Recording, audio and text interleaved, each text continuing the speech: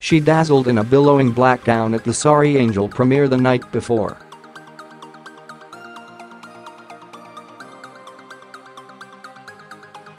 and Thylane Blondeau cut a more casual figure as she was seen at Hotel Martinez during the 71st annual Cannes Film Festival on Friday morning.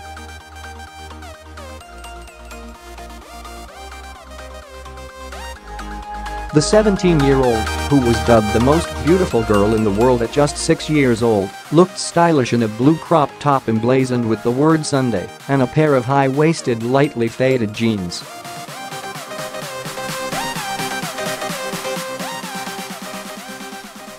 Thylane teamed her roll-up jeans with a pair of grunge lace-up boots as she strolled along with ease.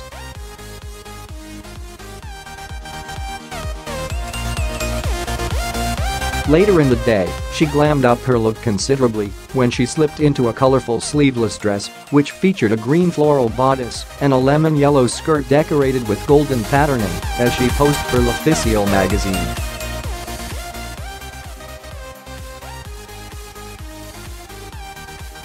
She teamed her frock of choice with a pair of silver heels, while lime green cat eye sunglasses proved to be a particularly eye-catching addition to her ensemble.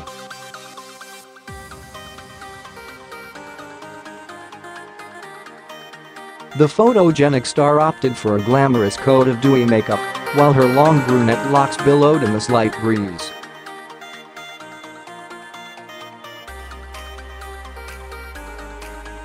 The night before, the French model was a vision as she walked the red carpet for the Sorry Angel premiere in a billowing black gown that ensured she would stand out.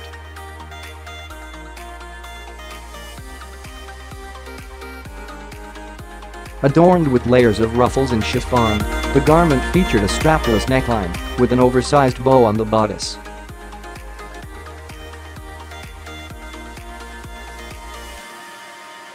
The garment flared out into an eye-catching full skirt that trailed behind her as she walked the red carpet, bearing an impressive train.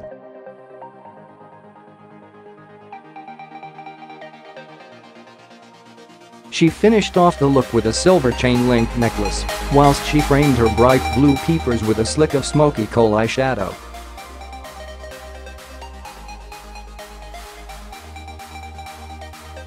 Thylane, the daughter of the French TV presenter Véronika Loubry and soccer player Patrick Blondeau, earned her Most Beautiful Girl in the World title after making her debut as a child model.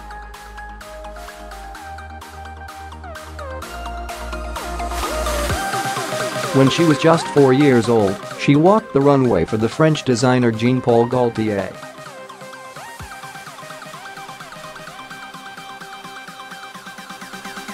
A few years later, Thylane, age 10, appeared in a controversial Vogue spread that many blamed for sexualizing young girls by making them pose in grown-up outfits and full faces of makeup.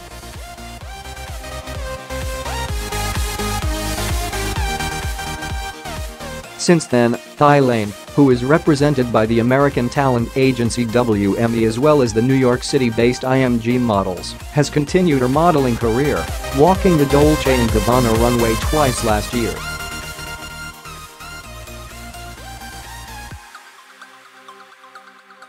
She has also become a brand ambassador for L'Oreal Paris and built an impressive Instagram following of one.